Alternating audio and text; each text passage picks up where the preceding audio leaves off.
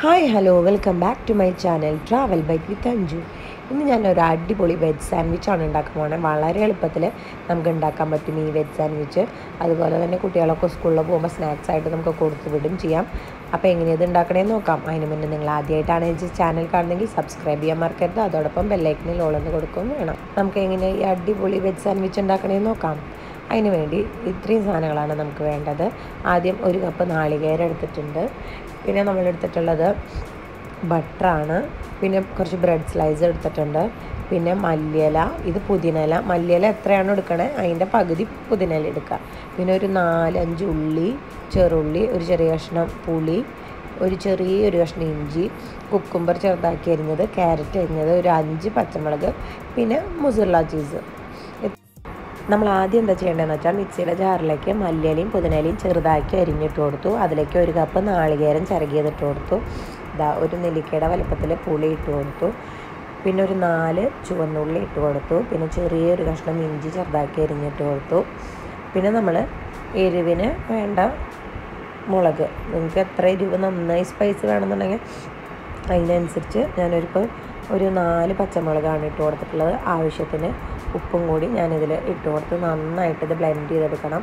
ഈ ഒരു പരുവത്തിൽ നമുക്ക് ബ്രെഡിൽ തേക്കാൻ പറ്റിയ പരുവത്തിൽ നമുക്ക് ഇത് അരച്ചെടുക്കണം. ഇനി നമ്മൾ എന്താണെന്ന് വെച്ചാൽ ഒരു ദോശത്തട്ടോ ഫ്രൈ പാനോ വെച്ചിട്ട് അതിൽ ബട്ടർ ഇട്ട് കൊടുത്ത് നമ്മുടെ ബ്രെഡ് ഒന്ന് നന്നായിട്ട് ടോസ്റ്റ് ചെയ്ത് കൊടുക്കണം. നന്നായി ബട്ടർ ഇട്ട് ടോസ്റ്റ് ചെയ്യണം കേട്ടോ.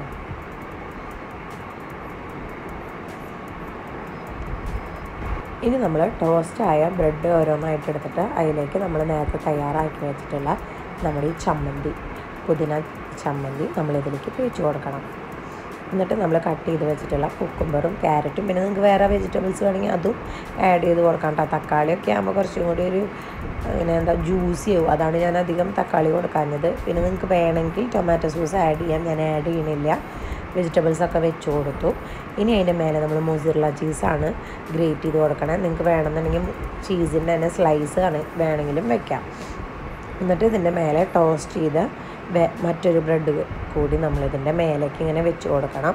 നമ്മൾ ചീസിന്റെ സ്ലൈസാണ് വെക്കണമെന്നുണ്ടെങ്കിൽ ചീസ് സ്ലൈസും ഒരു ബ്രെഡും കൂടി നമ്മൾ ദോശത്തട്ടിലിട്ടൊന്ന് അല്ലെങ്കിൽ ഫ്രൈ പാനിലിട്ടൊന്ന് ടോസ്റ്റ് ചെയ്തെടുത്തതിന് ശേഷം ഇതിലേക്ക് വയ്ക്കുക എന്നിട്ട് നമ്മൾ വീണ്ടും സാൻഡ്വിച്ച് ഒന്ന് നമുക്ക് സാൻഡ്വിച്ച് സെറ്റാക്കിയതിന് ശേഷം നമുക്കിതൊന്ന് ടോസ്റ്റ് ചെയ്തെടുക്കാം. ടോസ്റ്റ് ആയതിനു ശേഷം ഫ്ലെയിം ഓഫ് ചെയ്യാം. ഇതാ നമ്മുടെ അടിപൊളി വെജ് സാൻഡ്വിച്ച് ഇവിടെ തയ്യാറായി കഴിഞ്ഞു. വളരെ ടേസ്റ്റാണ് വളരെ എളുപ്പമാണ്. ഈ ചമ്മന്തി നമുക്ക് എത്ര ദിവസം വേണമെങ്കിലും ഫ്രിഡ്ജിൽ അടച്ചു വെക്കുകയാണെങ്കിൽ പെട്ടെന്നൊന്നും അങ്ങനെ കേട് വരില്ല. ഒരു മൂന്നാൽ ദിവസമൊക്കെ നമ്മുടെ ചമ്മന്തി ഇങ്ങനെ ഫ്രിഡ്ജിലിരിക്കുകയും ചെയ്യും.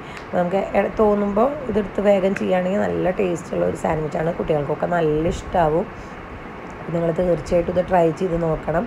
അതോടൊപ്പം നിങ്ങൾ ആദ്യമായിട്ടാണ് എന്റെ ചാനൽ കാണുന്നതെങ്കിൽ സബ്സ്ക്രൈബ് ചെയ്യാനും മറക്കരുത്. ഈ വീഡിയോ ഇഷ്ടമാണെങ്കിൽ ഷെയർ ചെയ്യാനും മറക്കരുത്. നിങ്ങളുടെ അഭിപ്രായങ്ങളെല്ലാം കമന്റ് ബോക്സിൽ മെസ്സേജ് അയക്കണം എല്ലാവരും. അപ്പോൾ മറ്റൊരു വിഭവമായി വീണ്ടും കാണാം.